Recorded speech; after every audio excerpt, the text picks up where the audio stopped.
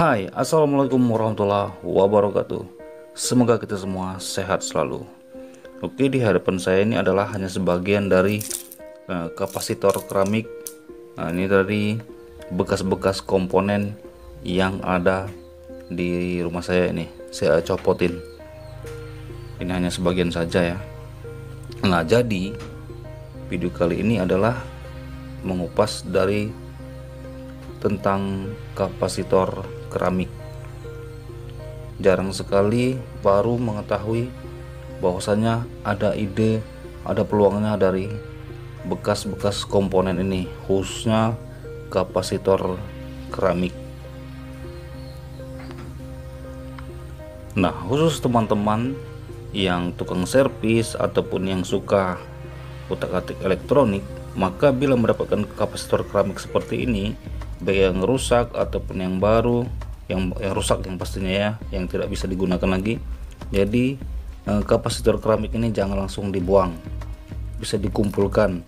Kemungkinan ada yang menampungnya kapasitor keramik yang bekas seperti ini, atau bisa juga diolah sendiri.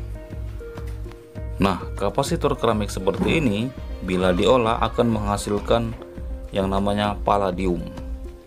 Dan eh, hasilnya lumayan banyak juga dari sekitar kurang lebih seperempat kilogram kapasitor keramik ini bila diolah akan menghasilkan 15 gram palladium. Nah, berikut ini adalah contoh ataupun video yang mengolah Eh, bekas keramik bekas dari kapasitor keramik ini nah untuk pengolahan kapasitor keramiknya ini dibutuhkan alat-alat serta eh, bahan-bahan kimia lainnya untuk pendukung supaya menghasilkan palladium. Dan harga palladium ini lumayan tinggi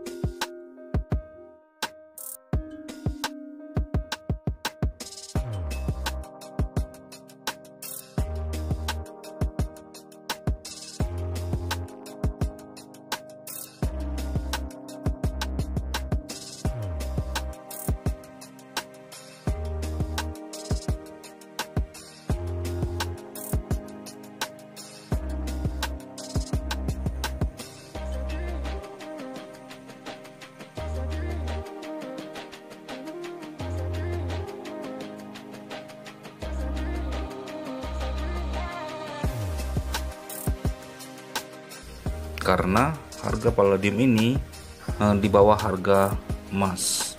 Dan itu pun mengikuti harga palladium dunia bukan saja lokal. Mari kita saksikan video uh, suatu video yang mengelola ataupun yang mengolah bekas dari kapasitor keramik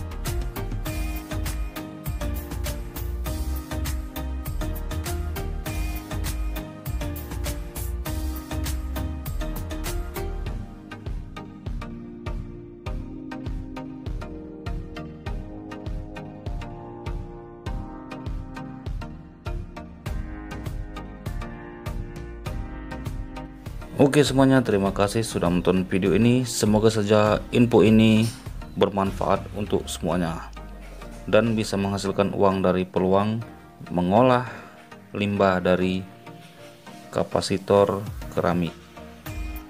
Semoga bermanfaat. Wassalamualaikum warahmatullahi wabarakatuh